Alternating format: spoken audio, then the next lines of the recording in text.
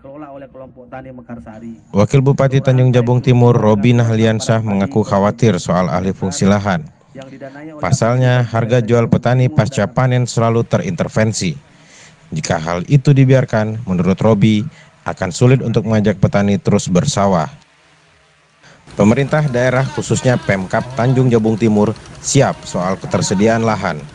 Hanya saja, jika tidak kunjung ada regulasi yang bisa menjamin harga gabah kering atau beras pasca panen, sulit untuk mengajak petani bertanam di sawahnya pada musim tanam mendatang. Prinsipnya setuju pemerintah daerah. Padi, jagung, kedelai. Kita sangat-sangat support lah.